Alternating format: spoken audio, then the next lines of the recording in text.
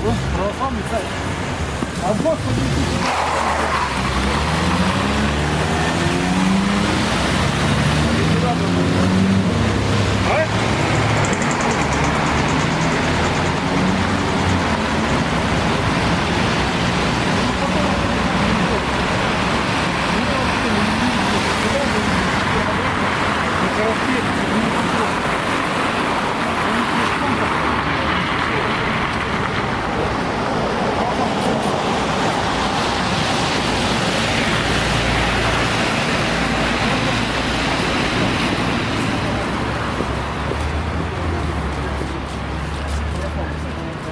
Веруйте в Иисуса Христа, Он нас спаситель.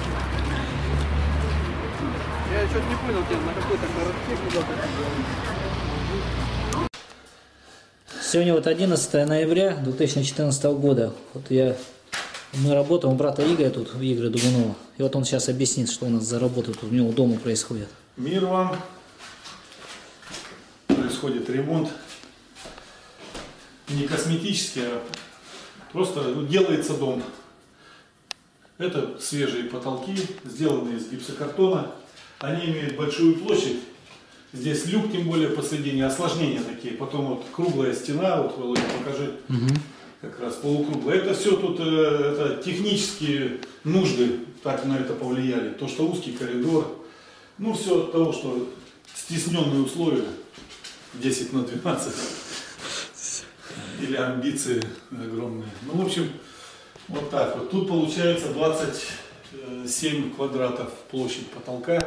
И тем более он еще как в виде сапога. И приходится вот применять новые технологии для того, чтобы можно было ну, сделать так, что э, потолок был ровный. Потолок будет белого цвета. И для того, чтобы э, сделать более ровным, применяются вот новые технологии. Вот один из, один из таких предметов этой новой технологии совершенно. Это называется защитные обои. Вот они какие все, что представляют. Ну, как обои без белого цвета или бесцветные, можно их назвать. Но это не, не сами еще обои. Вот они имеют какое строение. Они пористые, то есть э, легко проникает ск- сквозь них любая жидкость. Применяется здесь простой обойный клей, вот здесь вот клей, налит в ванночку. Вот он доведен до консистенции того, чтобы можно было клеить самые тяжелые обои, самые тяжелые флизелиновые обои. Вот это считается э, тяжелые обои, потому что они имеют и довольно-таки плотную и тяжелую э, и вес имеют, и сами по себе плотные и тяжелые. Вот нарезаны уже э, у нас заготовки для того, чтобы можно было клеить, оклеивать грани. А вот сам потолок, если, если вы его видите, ну, отличается. Вот сейчас, если показать, сейчас покажу. Вот, вот это, вот это, вот такой потолок был до того, как мы наклеили вот эту вот паутинку, она называется, паутинка в простонародье. Вот это защитная обоя. Видите, какая уже разница? Но это не, ничего не значит, потому что будет э, вот, э, выглядеть так же, как вот здесь вот стена. То есть все будет белое и ровное совершенно. За, за один или два раза, ну как, тут уж как Бог даст, как получится. На стены паутинка не наклеивается. Если где-то стена расходится между ну, швы там, или еще где-то отходит стена, или провалы какие-то были, изъяны, пробои, там делается специальная сетка армирующая.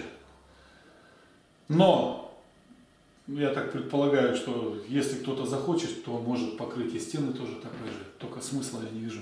Потому что придется же наклеивать потом что-то. Если только стены не под покраску. Ну вот такие вот, ну следующее, что будет у нас, это сейчас на- наклеивание произойдет и будет вот такого же цвета. Для чего это нужно? Чтобы скрыть, э, скрыть люк.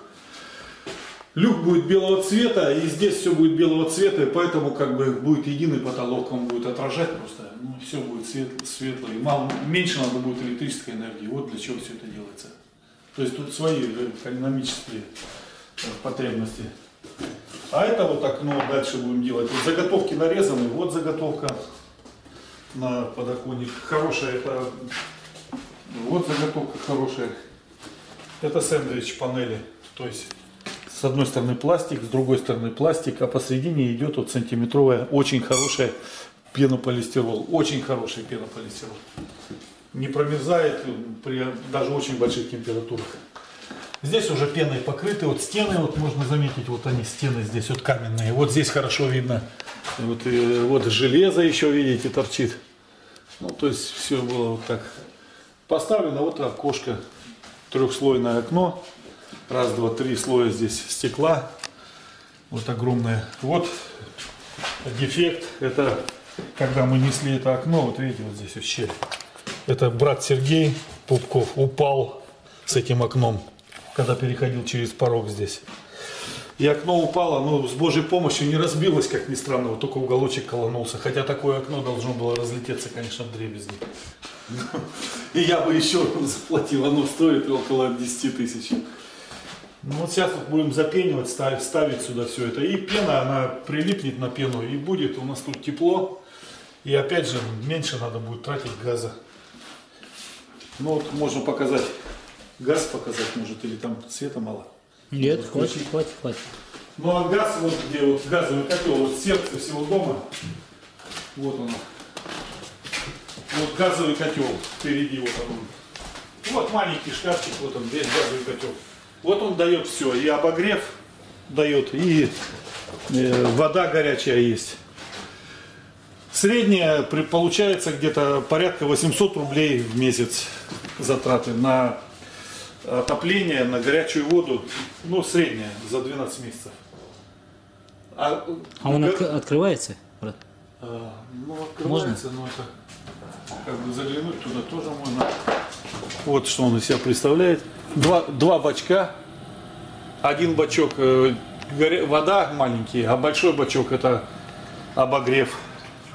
Конкретно идет на батарее. Ну, ломается он не часто. Это вот южнокорейский. Работает уже третий сезон. А у людей есть русские, вот напротив соседей, пять лет у них работает. Они только один раз чистили. Знают, что люди говорят, что 9 лет работает котел, они его еще только даже ни разу не чистили. То есть котлы довольно-таки надежные. А это вот счетчик, который считает деньгу за кубометрический метр. Вот тут уже вот сколько накапало. Все сюда газ подходит, от- э, природный газ постоянно подходит. Если, если я здесь, э, здесь у меня все прекращается подача, то газ сюда не поступает. У меня в доме нету газа. То есть газ нигде не накапливается, его нету. Вот сейчас он идет, поступает только лишь э, вот в, в колонку на отопление. Вот идет отопление. Вот тут температура, здесь попутно вот электричество все собрано, вот они. Все здесь электричество, как у нас на кухне, так и это, в церкви, так и здесь у меня.